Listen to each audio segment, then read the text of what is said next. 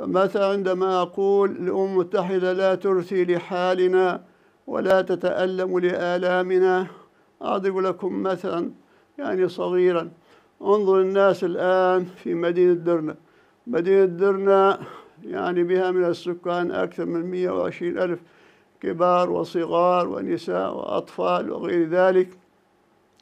وهي المدينة التي قدمت من أبنائها مئات الشهداء. في دحر المتطرفين والغلاة وتنظيم الدولة الذين تزعم الأمم المتحدة وتزعم الدول الكبرى أنها تحاربهم أنها تحارب هؤلاء الناس يعني دون دعم من أي جهة من أنفسهم من جهودهم الذاتية.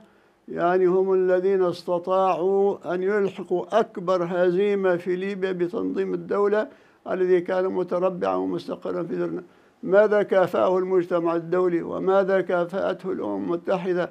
كافأوها الآن بالحصار حوصلت الآن تحاصر حصارا مريرا خانقا أكثر من شهر ونصف الآن وقبل ذلك حصار جزئي يمكن أكثر من عام. الآن يمنعون عنها الدواء والغذاء والوقود وضروريات الحياة والناس فيها يستغيثون وما تركوا وسيلة إلا توسلوا بها.